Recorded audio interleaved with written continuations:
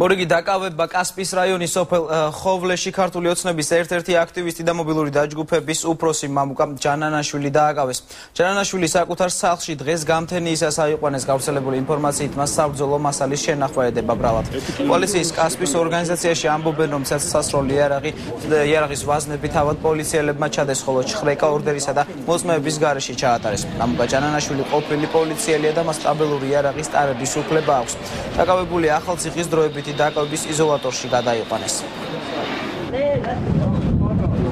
სამდირით დაადგენენ თავს გაუკეთეს ჩხრეკა არც ყოველგვარი ორდერის garaში არ წარმოუდგენიათ ორდერი არც მოწმეები არ წარმოუდგენიათ რა აი ესე რა 6 საათზე ოჯახი ყაჩაღურად დაესხნენ თავს. იარაღი აქვს ამ სპორტსმენს ოფიციალურად გაფორმებული მილიციაში მუშაობდა ხოლმე. თანამშრომელი იყო მილიციისა და ჩაუდეს 4 ცალი ვაზნა. დღეს დილით გამთენიისას 6 საათზე ჩხრეკა ჩაატარეს და დააკავეს კასპის ქართული ოცნების ორგანიზაციის მობილური ჯგუფის უფროსი ბატონი მამუკა ჯანანაშვილი აბსოლუტურად უმიზეზოდ. პირდაპირ მნიშვნელობით შეიძლება ითქვას, რომ ჩაუდეს იარაღის ვაზნები, ავტომატის ვაზნები და ეს არის დაკავების მიზეზი, როგორც აქამდე არის ცნობილი ჩვენთვის.